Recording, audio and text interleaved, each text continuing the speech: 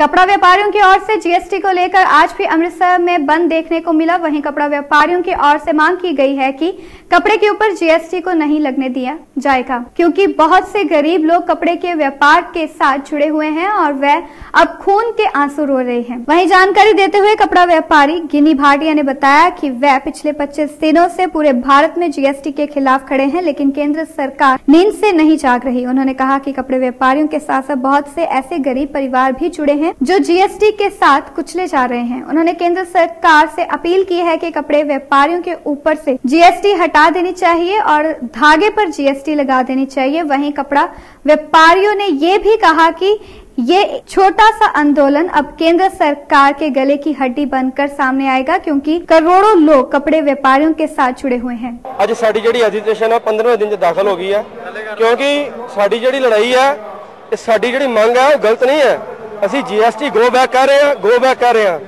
ਕਿਉਂਕਿ ਜੀਐਸਟੀ ਇੱਕ ਐਸੀ, ਐਸਾ ਬੰਬ ਹੈ ਕਿ ਵਪਾਰੀਆਂ ਤੇ ਫਟੇਗਾ ਤੇ ਵਪਾਰੀ ਕੰਮ ਨਹੀਂ ਕਰ ਪਾਣਗੇ।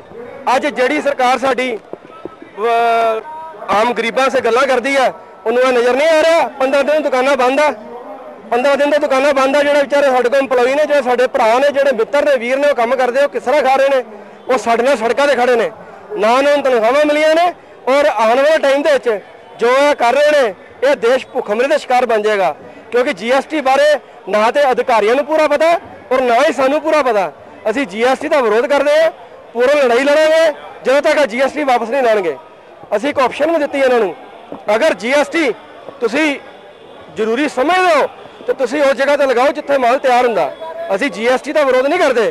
ਅਸੀਂ ਕਹਿ ਰਹੇ ਹਾਂ ਇਹਦਾ ਤਰੀਕਾ ਗਲਤ ਹੈ। ਤੁਸੀਂ ਜੀਐਸਟੀ ਉੱਥੇ ਲਗਾਓ ਜਿੱਥੋਂ ਮਾਲ ਸਟਾਰਟ ਹੁੰਦਾ, ਜਿੱਥੋਂ ਮਾਲ ਤਿਆਰ ਹੁੰਦਾ। ਇੱਕ ਟਾਈਮ ਅੱਜ ਅਸੀਂ ਬੜਾ ਤਗੜਾ ਸਾਡਾ ਇਕੱਠ ਹੈ 10000 ਬੰਦੇ ਦਾ ਧਰਨਾ ਦਿੱਤਾ ਅਸੀਂ ਹਾਲਗੇਟ ਦੇ ਬਾਹਰ। ਅਸੀਂ ਇਹ ਲੜਾਈ ਸਾਡੀ ਚੱਲਦੀ ਰਹਿਣੀ ਹੈ। ਅਸੀਂ ਲੜਾਈ ਉਦੋਂ ਤੱਕ ਵਾਪਸ ਨਹੀਂ ਲਵਾਂਗੇ। ਜਦੋਂ ਵਪਾਰੀਆਂ ਦੀ ਗੱਲ ਮੰਨੀ ਨਹੀਂ ਜਾਏਗੀ। ਵਪਾਰ ਪੂਰਨ ਤਾਂ ਬੰਦ ਰਹੇਗਾ।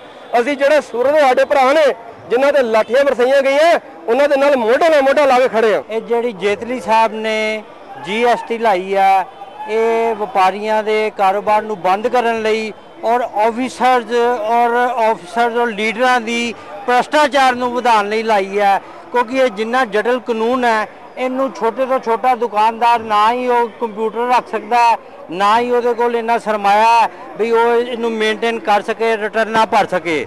ਇਹ 100% ਜਿਨ੍ਹਾਂ ਨੇ ਕਾਨੂੰਨ ਬਣਾਇਆ, ਉਹਨਾਂ ਨੂੰ ਕੱਪੜੇ ਦੇ ਵਪਾਰ ਦੀ ਸਮਝ ਹੀ ਨਹੀਂ ਹੈਗੀ ਔਰ ਉਹਨਾਂ ਗਲਤ ਬੰਦਿਆਂ ਨੂੰ ਇਹਨਾਂ ਨੇ ਸ- ਮਤਲਬ ਕਿ ਕਾਨੂੰਨ ਬਣਾਉਣ ਲਈ ਦਿੱਤਾ ਗਿਆ। ਸਾਡੀ ਡਿਮਾਂਡ ਹੈਗੀ ਹੈ, ਇਸ ਕਾਨੂੰਨ ਨੂੰ ਹਰ ਹਾਲਤ 'ਚ ਹਟਾਇਆ ਜਾਏਗਾ।